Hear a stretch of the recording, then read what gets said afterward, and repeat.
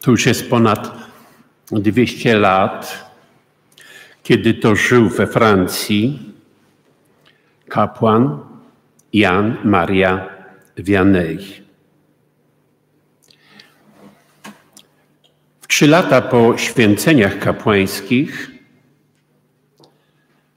został mianowany proboszczem maleńkiej miejscowości. Żyło w tym miejscu 230, około 230 osób. Małej miejscowości Ars. Udał się więc do swojej pierwszej parafii. Trochę drogi przebył wozem, resztę przeszedł na własnych nogach. I w pewnym momencie wędrówki do Ars stanął na rozstaju dróg.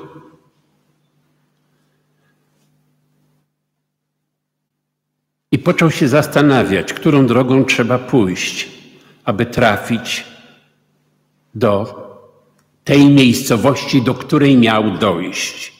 Ale nagle zauważył, że w polu jest chłopak, który pasie krowy, owce, więc skierował się ku niemu.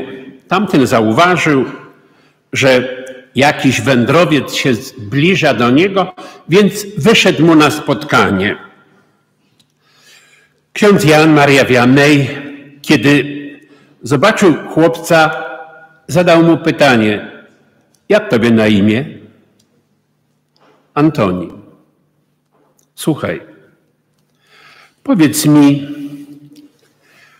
jak tu dojść najprostszą drogą do Ars, a ja pokażę ci, jak najprostszą drogą dojść do nieba. Dzisiaj w miejscu, do którego, w którym doszło do tego spotkania, stoi pomnik. Pomnik, który właśnie przedstawia proboszcza Zars, trzymającego lewą rękę za ramię tego młodego chłopaka w kapeluszu i pasterskim kijem, laską, a prawą ręką wskazuje niebo. Przywołuję ten obrazek, bo dzisiaj jest uroczystość w niebo wstąpienia Pańskiego.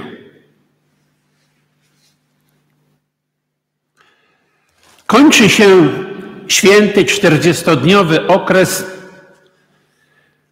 radości. Radości, która na różne sposoby pozwalała nam na nowo, po raz kolejny poznać, rozważyć, odkryć obecność między nami zmartwychwstałego. Zmartwychwstałego. Można śmiało powiedzieć, że ta uroczystość w niebo wstąpienie pańskie to jest taka pieczęć wszystkich świąt, które mają miejsce w Kościele, wszystkich świąt pańskich, która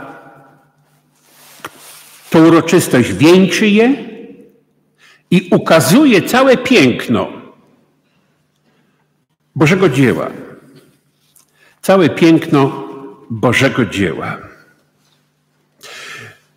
W związku z tym mnie też nic innego nie pozostaje, jak podnieść rękę i pokazać w kierunku nieba. I powiedzieć do nas wszystkich tu zgromadzonych, do siebie też.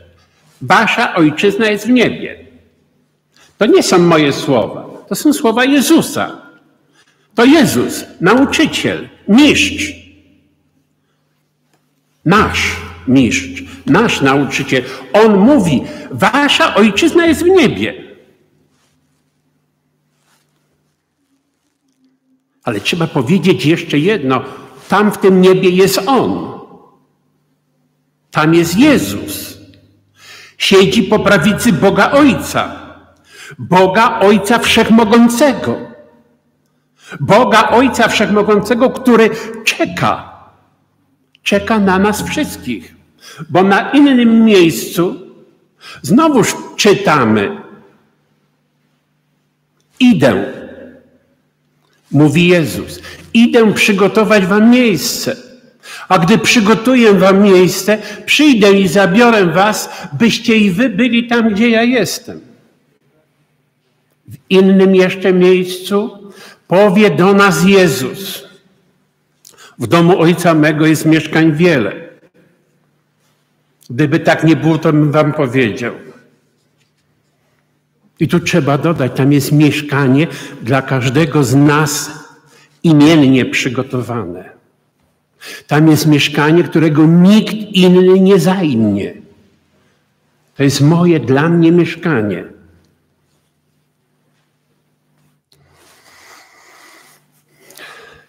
No i teraz jest problem. Kto pójdzie do nieba? Wszyscy jesteśmy powołani do nieba. Kto pójdzie do nieba? Do nieba pójdzie ten, kto jest przyjacielem Jezusa. A więc kolejne pytanie, które musimy sobie postawić. Jesteś przyjacielem Jezusa? Jezus jest Twoim przyjacielem? Nie od święta. Nie gdy trwoga to do Boga.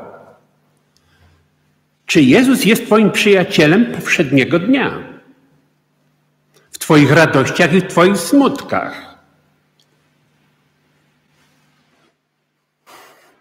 W niebowstąpienie. To z jednej strony droga,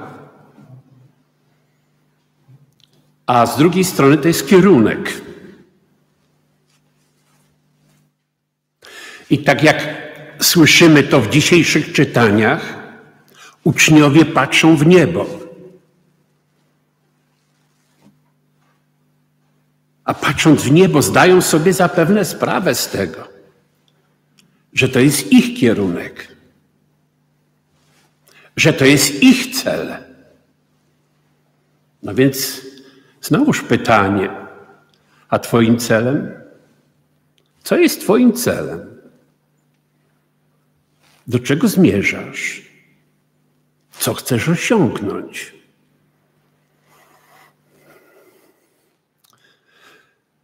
Myliłby się ten, kto by to sądzi, że mówiąc o niebie, to chodzi o bujanie w obłokach.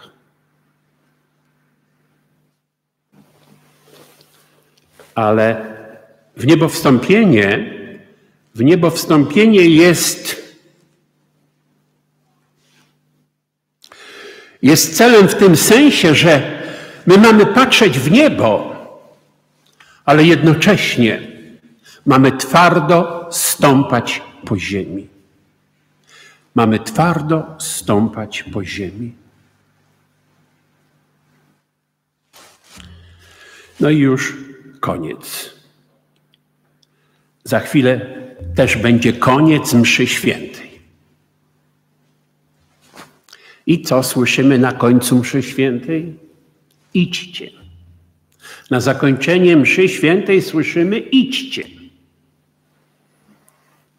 A to nie oznacza, że sprawa załatwiona, że wszystko skończone, że nie mamy żadnych zobowiązań, że nie mamy żadnych obowiązków, że już nic dalej nie ma.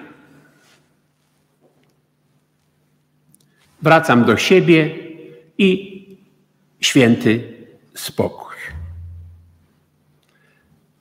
Na końcu mszy świętej usłyszymy kolejny raz idźcie.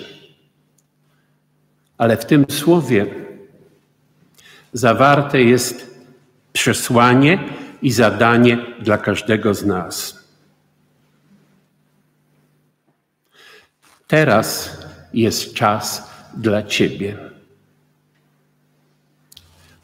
Ja często odwołuję się do takich słów, które gdzieś kiedyś usłyszałem na jakichś rekolekcjach,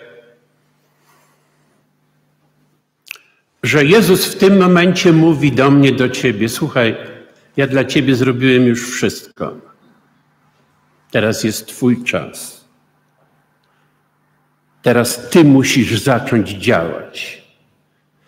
I znowuż odwołując się do Pisma Świętego, mamy powiedziane: Wy będziecie moimi świadkami. Ale ty co, boisz się? Nie dasz rady?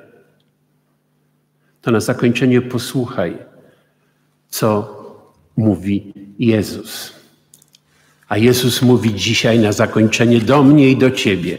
Ja jestem z wami przez wszystkie dni, aż do skończenia świata. Oby oni chcieli ze mną być. Amen.